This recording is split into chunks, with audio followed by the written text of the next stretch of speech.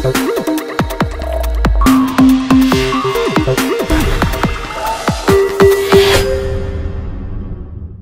y'all, it might be a little bit hard to hear me, but I am outside lovely mountains of North Carolina. but I'm outside so that you can see how this looks in the sunlight. This is a butterfly sun catcher that I made from a kitchen whisk, some wire, and some beads. Um, there are a lot of steps to this. It is not difficult to make. There's just a lot of steps, okay? So bear with me and we will get through it. Alrighty, y'all, let us get started. So what you're going to need first is a wire whisk. I got this one at Walmart. It was like 88 cents. I'm sure you can find them at the Dollar Tree as well. My Dollar Tree, if they had them, they were out. so, and I just picked the cheap ones. Why? Because the cheap ones are a lot more flimsy and they're a lot easier to work with when we're doing this. For your basic dragonfly, you're going to need a whisk, and a few beads, gemstones, whatever you want to glue onto it. You're going to need some wire cutters. Um, you don't have to have jewelry making tools. If you don't have them, that's fine. If you don't, uh, check in the description box down below, and I'll also pin a comment to my Amazon shop where you can find a lot of these awesome tools and other things that you need to do this kind of stuff. Um, for an actual like sun catcher that I'm going to be doing, it's a little bit more labor intensive than just doing a basic dragonfly. And for that, you're going to need some chain. I got this at Joann's, but you can get it. Walmart carries it over in the craft section. You can get it at Hobby Lobby, Michael's, any place like that. Some floral wire. This came from the Dollar Tree. And a handful of beads and decorations. I have a ton of those over here. And of course, your um, your whisk for that as well. So first off, what we're going to do is take this label off. Why didn't take it off? Well, I wanted y'all to kind of see where it came from, so that's why I didn't take it off. All right. Some of these have shorter handles, some have longer handles. It just depends on the look that you're going for. So if you can see, this is the very outer one. You're just going to grab that and we're going to bend it down like that. Now the next one in line here, see the, the outer one there? We're just going to grab that and bend that down.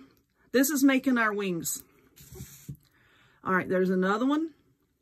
The next outer one, just grab it and bend it down towards this one. This outer one here, grab it and bend that one down as well. Okay. This little doohickey right here, you can cut it off if you want to, but it can be a pain in the behind sometimes to cut off. So if you want to leave it, just leave it. All right, so that makes our wings. And this here, you can make a butterfly this way as well. If you want to make a butterfly, you can leave these for the antenna. If you don't want it on there, you can just trim it all the way down. I'm going to leave it. So first off, let's take with our wings and I'm just kind of squishing them like that. See how it's big and round? I'm just kind of squishing it down towards the bottom here to kind of give it a little bit more shape. My light bulb up here is acting weird. It's been flickering around all morning. All right. Now I'm going to take it and twist it a little bit because see, this is the body. And you need the wings to be going this way and this way. I might have to mess with that light bulb here in a second. Said just a little bit labor intensive. It, it takes a little bit to do this. And I like to do it slowly.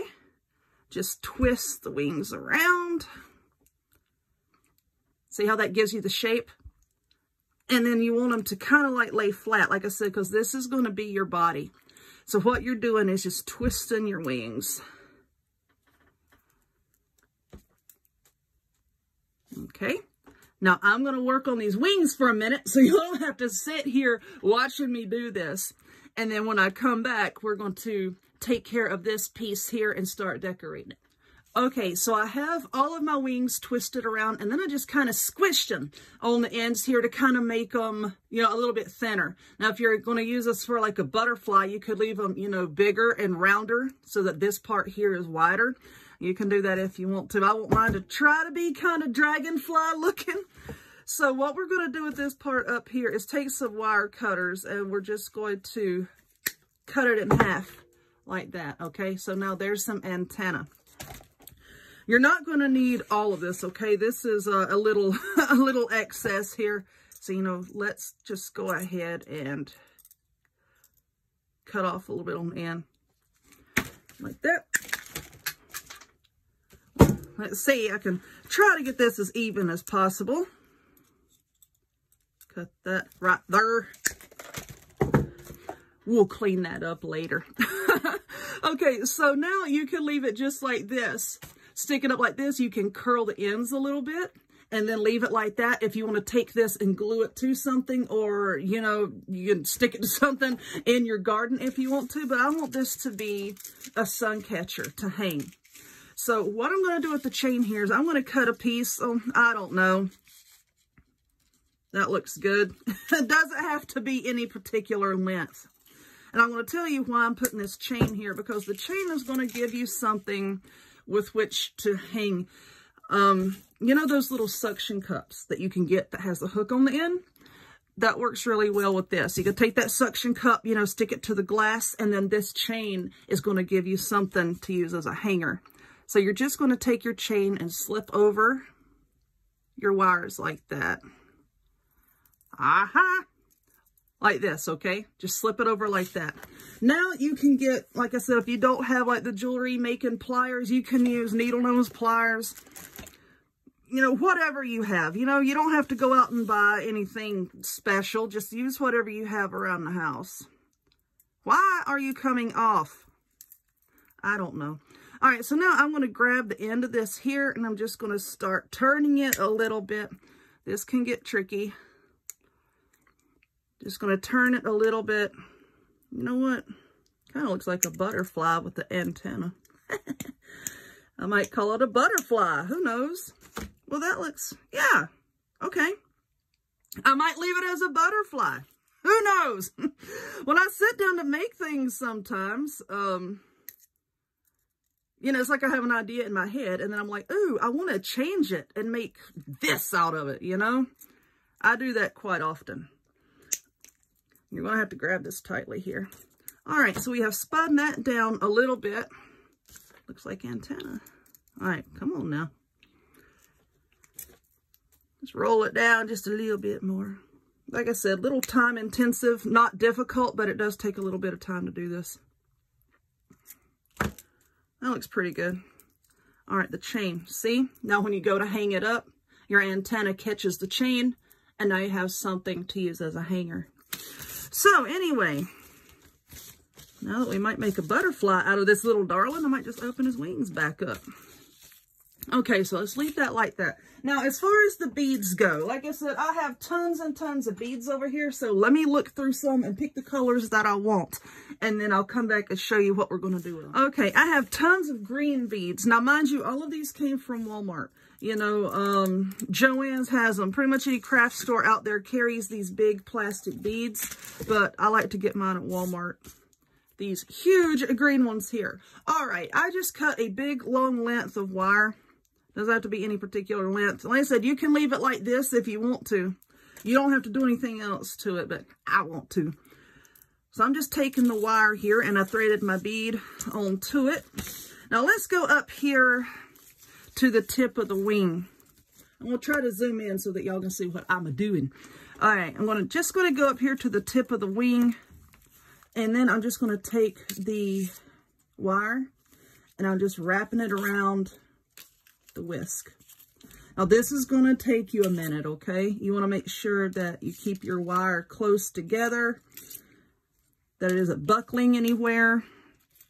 And I'm going to take this bead, I think, and have it just slightly overlap the very edge here. You can see I'm talking about. It's going to kind of help to hold it steady. There we go. Just continuously just wrapping, wrapping, wrapping like this.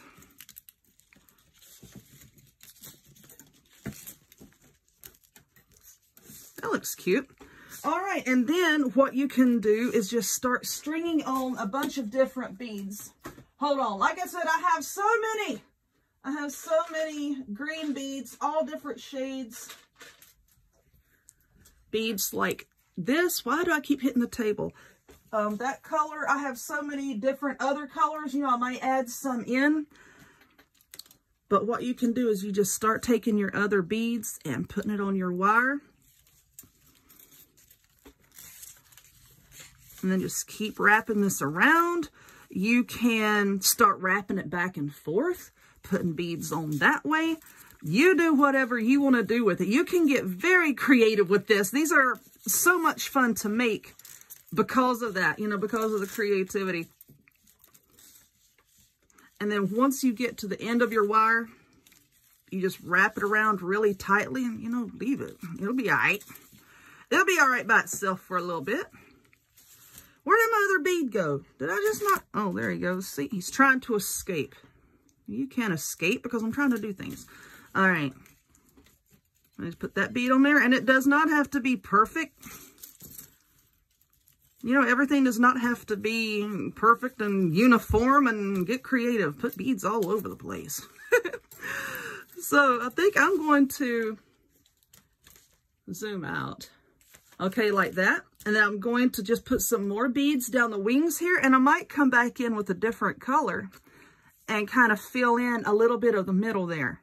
So, like I said, let me work on this one wing and then I'll get some more beads and then come back and we'll we'll do a little bit of fill in. Okay, so I believe I'm done with the outer beads here on this green part and this is what we have so far.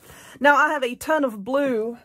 Uh, I have some pink. I don't want to put pink on here, I don't think. So I think I'm just going to go with blue, green, and blue. So you're going to get another piece of wire. I'm going to cut this one kind of longish cut that there. All right, so now we're going to take the end here and let's just fasten it somewhere. I'm just going to go back up here to the top. Just fasten it on. See how I'm taking the short end of that wire and I'm just wrapping it around. Just wrapping around just to secure it. There we go. All right, so now I'm going to take a blue bead and string that on. And then I'm just going to come over here and just wrap it around there. Maybe just one good time like that. Then we're going to come back. Let's pick a different blue bead. This one's darker. I got a bunch of different shades over here. Just string that on. And then we're going to come, I say right around there looks good. And then wrap it around couple times just to secure it. And then bring it back up. You can put more than one bead on there if you want to. Here's a square one. Let's put this a square one on there. Come on, why are you doing this to me? All right, we'll just come down this way. Wrap it around a couple times. And you're just going to do that all the way down. Now, when you get back up here, I mean, down here to the bottom, you can do it again. You can go back up and put more beads on if you want to. So you just weave it back and forth, back and forth like that. Really simple. I'm going to do one more and then I'm going to show you what we're going to do to the tail end here. We can't just leave its tail end hanging. All right, wrap it around. These are really cute once you get them all finished. This is a little bit of work, but they are so pretty hanging in a window Okay. And then there's that. Like I said, once you get down here to the bottom, you can just start coming back up to the top, putting in more beads. You know what? I might add in some pink. I don't know. All right, so let's move down here towards the bottom, right here, this loop. We can definitely do something with that. All right, what I'm going to do is I have the chain here, and then I have a jump ring. And y'all probably know what jump rings are already. They're just these, if I can get it, they're just these little metal loops here. You can get these at Walmart. Over in the craft section near the jewelry making, any craft store carries them. Jump rings. So they come in little rings like that. And you can see how one end is split. You just want to grab it on both sides with some pliers and just gently twist it open. So what I'm going to do with this is I'm going to put some chain on it and I'm going to cut a few pieces of chain at various different lengths because what I'm going to do is, is I'm going to put some beads on the end and then we're going to attach it to the tail here. So let's see. I think that first one can be right about there. That looks good. And don't worry, I'm going to show you how to do all this, okay? Now, let's not lay that down yet. Let's hold that till we get this other piece put on. So you can see I just put the chain on and I cut it about that long. Let's get another piece of chain and put on this. There we go. Now we want to cut this chain here a little bit longer. Okay, about an, I don't know, about a good half inch to an inch longer. So we can stagger the length. Once I get the beads put on, this is going to make more sense, okay? now let's put on, if I can hold it. I put lotion on my hands a while ago. Not everything's slippery. All right, so now I'm going to come down about another half inch to an inch and trim that. And now I think I'm going to put on, how many is that? Four? Let's do another one. Come down about another half inch to an inch and cut that. Is that right? That looks okay. Let's do five because I like odd numbers. All right. We're putting on chain number five here. And we're going to cut that one even longer still. About half an inch to an inch longer. All right, so now we have our jump ring with all of our chains on it. I'm going to take that and just loop it around this end right here. I'm hoping I don't drop it and make a mess. And then we're just going to twist that until we fasten it off. See? I just twisted it close. All right. Or you know what, if you want to, you can use a piece of the wire that we're using on the wings here. I want to make sure that I get this nice and tight. Um, you can just take a piece of the wire and run it through the chain and then just wrap that around and around and around this a few times so that, you know, it doesn't fall off. You can do that as well. Whatever you want to do.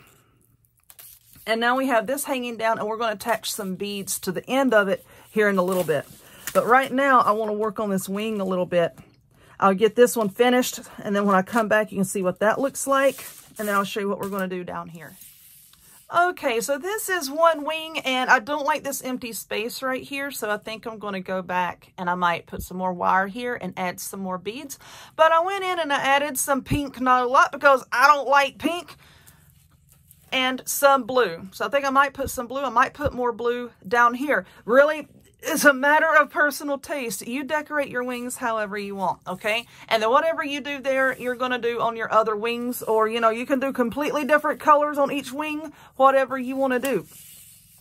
So now let's come down here to the bottom. And as you can see, I've already added a bead here. So when you hang this up, these are going to hang down.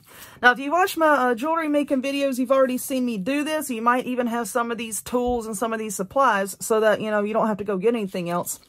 But anyway, look all the glue and paint on my hands today. It's it's pathetic. But anyway, this here is called a head pin. You can see it's got like that little flat head on it like that.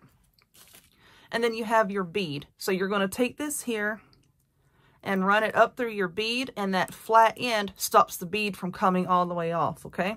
So then I like to rest that on my ring finger and then just hold the bead in place like so. And now I have my wire cutters and I'm going to cut down so that this part here, I'm to say about half an inch or so, and cut that off. Now I have my round nose pliers here. I'm just going to grab it kind of down here right on top of the bead and I'm going to bend it completely over like that. Now I flip my hand completely over this way to do this. I'm going to come back See, this is why I like to let it rest on my ring finger. I'm trying to hold that in place. I just like to flip my hand over and then I'm just going to grab this right here and then we're just going to roll it back to make a loop. Yes, you can get a tool to do this. I have one, but that tool is a little bit costly and if you don't make a lot of jewelry, there's really no need to purchase one. All right, so now that we have that, what we're going to do is find the end of one of our chains here. Oh gosh, my hands are so darn slippery. Because I was trying to clean off the paint and stuff a while ago, and then that dried my skin out, and then I put on lotion. Now everything's slippery. See, I just put the chain on just like that, and now you're just going to take some pliers and just tighten that up. Like I said, all this is completely optional, okay? You don't have to put all this on. You make yours however you want. And see, that's going to hang down. And now I'm going to put beads on these three as well Just something to give a little, you know, extra something something. Because y'all know how I am about doing extra little something somethings. Now, all this mess in here, let's address that. Um, if you don't want that to show, you can take another bead. Give me a bead. The people are waiting. Let's just grab this. Gosh, that is ugly color. You can just take some wire and put a big bead right here. You can glue it down. You know, you can use some E6000 and glue it down because this right here is kind of messy and it's not going to lay down flat. You can put that right there for the body. If you want to, you know, you decorate this however you want. So that is basically how you make these. Really easy, but for the video's sake, yeah, it was a lot of steps. So you just put the beads on all of your wings here. You can put something here in the center. And then all of this is totally optional. You know, you hang whatever you want to there.